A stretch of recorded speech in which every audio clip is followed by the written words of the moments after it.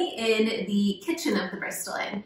Now this kitchen probably looks fairly different from your kitchen at home. And the three key differences that you'll see in here have to do with how you keep your food cold, how you cook your food, and then also how you do your dishes. So in the Bristol Inn, we do not have a refrigerator.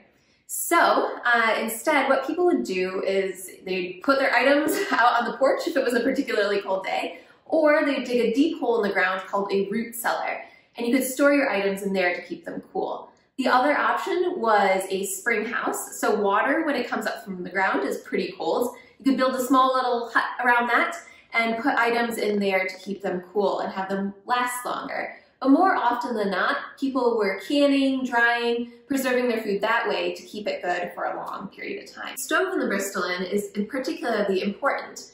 Now, whereas your stove at home is heated with either gas or electricity, the stove at the Bristol Inn is heated with fire. So what you'd do is you'd build a small fire inside this box here, and then it would heat up with the entire stove top there. And you could, could then control it with these levers at the side of the stove and direct where that heat um, and everything goes. So it was pretty fairly accurate as far as heating temperatures and everything, but you're still cooking with fire, so it wasn't as accurate as you can get a stove today. You can't set it to 425 degrees.